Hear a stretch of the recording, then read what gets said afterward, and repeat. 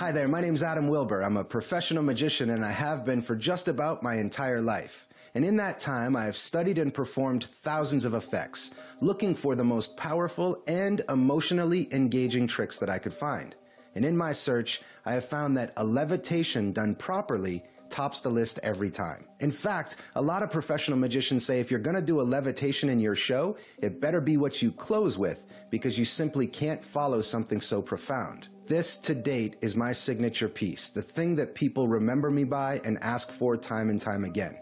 I wanted to develop a levitation that meant something to me, that meant something to my audience, and that solved a few of the problems I had with current levitations on the market. So in Grandfather's Top, you don't just get a fully scripted, beautiful piece of magic that you can perform to inspire and motivate people to realize how precious life really is.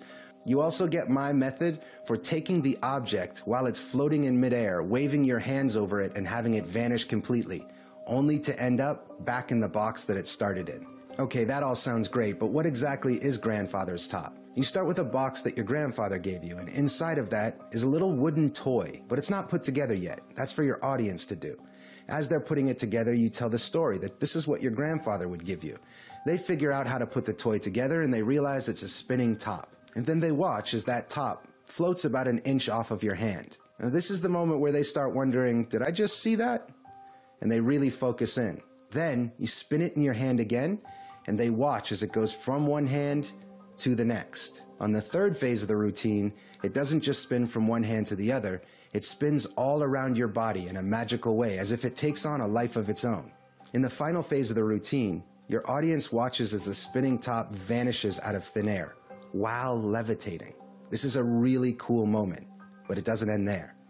You draw attention to the box that started the entire effect, and as they open it, they realize that the spinning top is back in the box.